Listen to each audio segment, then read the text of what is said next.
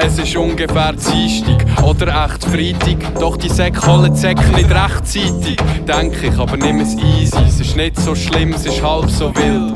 Letztes Jahr ich das Gefühl, das Leben sei nichts wert und die Stimmung hat angehalten für etwa drei Tage.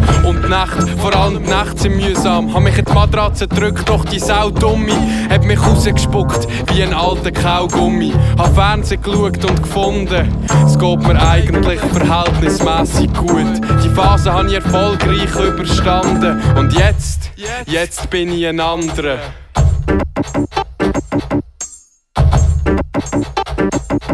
Ich bin locker, ich seh es nicht mehr so eng und die Zwang bin ich los, los.